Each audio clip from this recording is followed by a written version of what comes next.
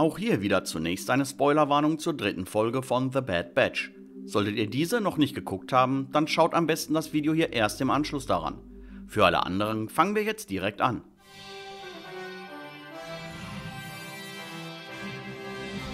Es wäre uns eine Ehre, wenn Sie sich zu uns gesellen würden. In der dritten Episode von The Bad Batch mit dem Titel Die neue Einheit sehen wir zum ersten Mal Infanterieeinheiten des Galaktischen Imperiums, bei denen es sich nicht um Klone handelt.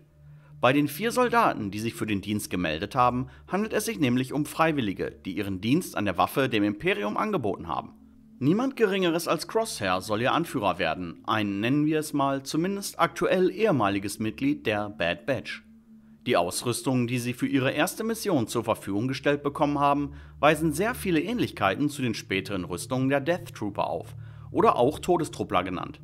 Die Rüstungen waren nicht nur sehr dunkel, vor allem beim Helm, der von ihnen getragen wurde, fällt direkt das dunkelgrüne Visier sowie die beiden bildverstärkenden aktiven Impulsemitter auf, die ebenfalls in einem grünen Farbton leuchten. Des Weiteren ist in der Folge die Rede des sogenannten Projekt Kriegsmantel. Ob es sich hierbei um das Programm der Todestruppler handelt, man weiß es nicht. Schreibt mir eure Meinung dazu aber gerne unten in die Kommentare.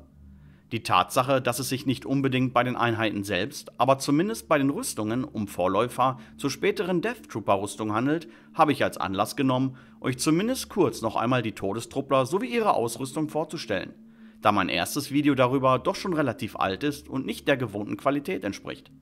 Komplett in Schwarz gehüllt begleiteten die Soldaten dieser Eliteeinheit für den Verteidigungsfall die wichtigsten Einsätze und ranghöchsten Offiziere der imperialen Militärhierarchie.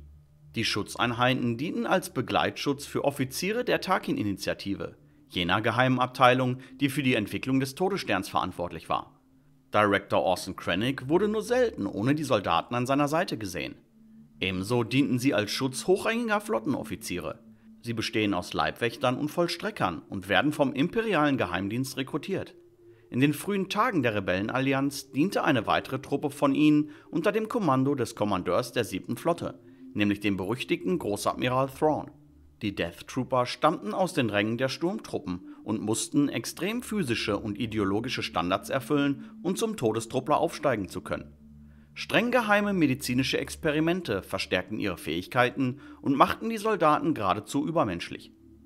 Ihre Ausrüstung war eine stark verbesserte Version der massenproduzierten Rüstungen der normalen Sturmtruppen. Ihre Rüstung bestand aus Plastoid, das mit Reflek, einem neuartigen Sprühpolymer, überzogen wurde.